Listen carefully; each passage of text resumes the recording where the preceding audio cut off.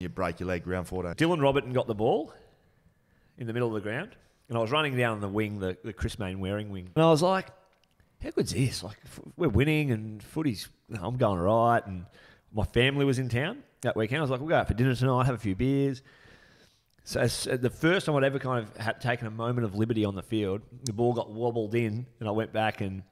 And I was thinking that at the time. I was like, this is great. This is so good. And then bang. And uh, you can see here that you don't want to watch, so you need to look away. But when it happened, my mindset like, no, it can't be, can't be, I can't, it can't have happened. I I remember it was a big impact, and can't recall hearing anything or, but I knew that my leg was in the wrong, the wrong position, and as I stood up, it went the wrong way. So What was the conversation like with um, with Rhys Palmer after it? he was genuinely devastated from my point of view. It, it is what it is. It's yeah, it's the game.